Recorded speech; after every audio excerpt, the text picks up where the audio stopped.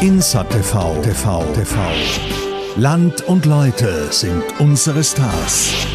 Die nunmehr vollzogenen Öffnungen und Erleichterungen für das Alltagsleben geben für die Veranstalter von Messen noch immer kein grünes Licht.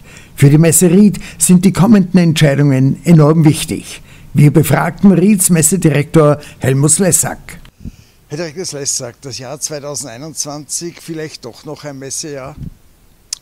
Ein Messeherbst, also wir sind relativ äh, guter Dinge und, und die Zeichen stehen gut, dass wir im September äh, wieder eine Rieder Messe erleben können und dann äh, glauben wir auch, dass auch die nachfolgenden Veranstaltungen äh, stattfinden werden. Es scheitert ja derzeit noch an den 20 Quadratmetern, wenn ich so richtig informiert bin. Unter anderem. Also es, äh, bei Großveranstaltungen, wo keine zugewiesenen Sitzplätze sind, äh, das ist nach wie vor extrem schwierig äh, zu veranstalten. Natürlich ist jede äh, Veranstaltung äh, unterschiedlich. Man muss auch jetzt ganz klar zwischen Messe und Volksfest unterscheiden. Ähm, und natürlich auch die Maskenpflicht im Freien ist was, was viele Leute, egal ob Besucher oder Aussteller, äh, nur schwer akzeptieren. Apropos Aussteller, wie sehen die die kommende Messesaison? Es wollen sehr viele, also es ist auch von den äh, Anmeldezahlen bisher so, dass man aufgrund der, der, der, schwierigen Zeit durchaus zufrieden sein kann. Also wir stehen bei rund zwei Dritteln der Aussteller äh, von 2019. Aber natürlich warten auch noch viele ab ähm, und ich sage, da ist, glaube ich, in beide Richtungen äh, bei Ausstellern noch viel offen. Also es kann jetzt, wenn, wenn sich die, die Lage weiter so positiv entwickelt und auch Maßnahmen zurückgefahren werden, glaube ich, dass wirklich noch ein, ein Riesenandrang herrschen wird. Wenn es äh, vielleicht die Lage sich nicht verbessert, ist natürlich auch noch mit Stornierungen zu rechnen. Es wird ein Volksfest oder kein Volksfest geben, Ihrer Meinung nach?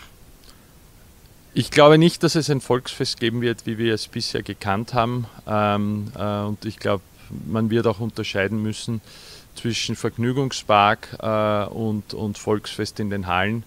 Ähm, aber letztendlich sind da jetzt noch äh, keine Richtlinien draußen zu diesem Thema und wir haben da Dinge und hoffen, dass wir spätestens äh, im Juni hier auch äh, Gewissheit haben. Zwei Monate später wäre die Haus und Bau auf dem Plan?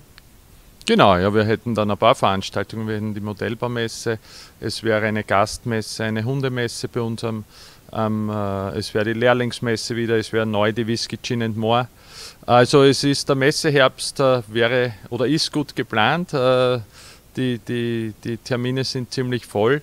Wie gesagt, aus heutiger Sicht sind wir positiv, aber wir haben uns in den letzten knapp eineinhalb Jahren sind wir immer wieder überrascht worden, Deswegen ist eine endgültige Prognose hier noch sehr schwierig.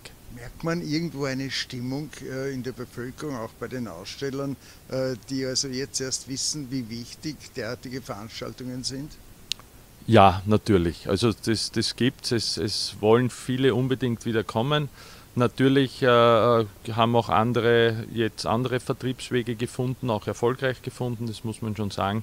Aber ich glaube, letztendlich äh, wird sich das Messewesen auch weiter durchsetzen und wie gesagt, wir sind da sehr zuversichtlich, dass wir mit unseren Angeboten auch sowohl für Aussteller und Besucher weiter attraktiv sind. Ob zur Landwirtschaftsmesse auch der Vergnügungspark, die Krüge in den Bierhallen, die Menschen auf den Bänken und Tischen oder mit einem guten Achterl in der Weinhalle angestoßen werden kann, bleibt auf jeden Fall noch offen. Man kann nur hoffen.